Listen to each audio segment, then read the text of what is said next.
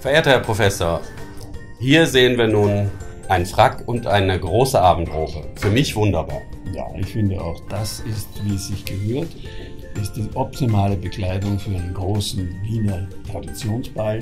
Und es trägt natürlich zu diesem festlichen Ambiente ganz, ganz wesentlich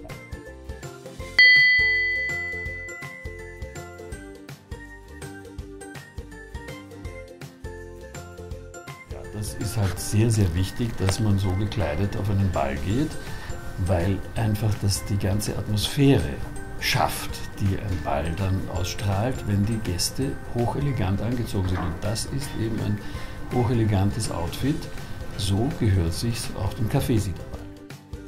Das lange Abendkleid und der Frack, das ist höchst, der höchste Rang, den es eigentlich bei Bällen zu erreichen gilt und der ja bei manchen Bällen auch vorgeschrieben ist.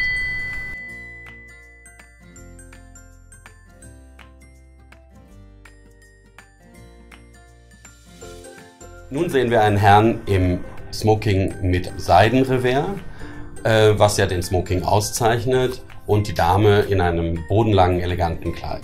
Thomas, deine Expertise. Ja, selbstverständlich auch. Völlig in Ordnung für große Wiener Bälle.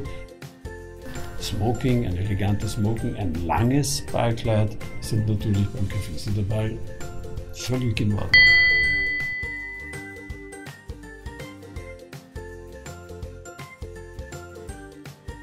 Ein Business-Outfit ist kein Ball-Outfit.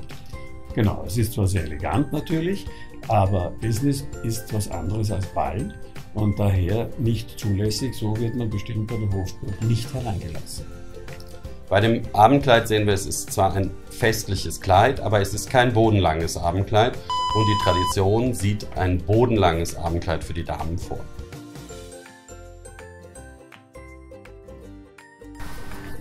Also für dieses Outfit brauchen wir dann wohl eher schon eine Sonnenbrille. Jedes Outfit hat ihren Anlass, aber ein Cocktailkleid, sei es noch so aufgestylt, ist kein bodenlanges Abendkleid. Ja, Cocktailkleid kein bodenlanges Abendkleid und ein bunt karierter Anzug ist natürlich überhaupt kein Abendanzug, kein Businessanzug, das ist reine Freizeit.